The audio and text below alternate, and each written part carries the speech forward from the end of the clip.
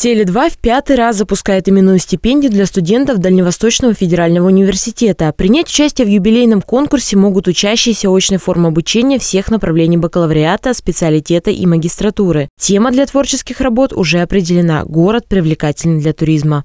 Мы продолжаем развивать наше взаимодействие с ДВФУ. А, в рамках нашей уже пятой юбилейной стипендии мы предложили ребятам тему «Город привлекательный для туризма», поскольку Владивосток входит в десятку самых крупных туристических центров э, внутри российского туризма. Мы надеемся, что так же, как в предыдущие годы, наш конкурс привлечет внимание. Предлагаем всем в нем участвовать. Надеемся получить много интересных работ от ребят и удачи всем. Теле2 всегда принимает самое активное участие в проектной деятельности студентов. Ребята получают новый опыт и полезную обратную связь от жюри конкурса, в который входят представители оператора и ДВФУ. А один из проектов победителей стипендии стал наглядным пособием в стенах вуза. Интерактивная навигационная Огромная доска с подробной картой расположения аудиторий, спортзалов и других помещений университета – студенческий проект прошлых лет. Сотрудничество с компанией «Теле2» в Дальневосточном федеральном университете началось э, более пяти лет назад.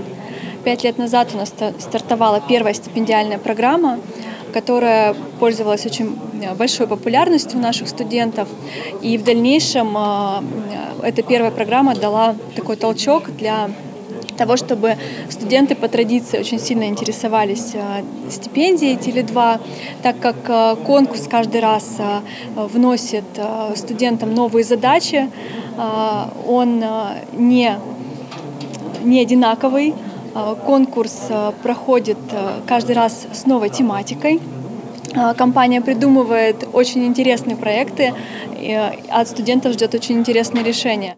Старт подачи заявок для участия в конкурсе именных стипендий на 2021-2022 учебный год уже объявлен. Заявки принимаются до 31 декабря 2021 года. Позже студентов ждет наиболее интересный этап программы – разработка проекта и его защита. В этом году будет определено 4 победителя. Призовой фонд – 300 тысяч рублей. Екатерина Зверева, Игорь Егоров. Новости на восьмом.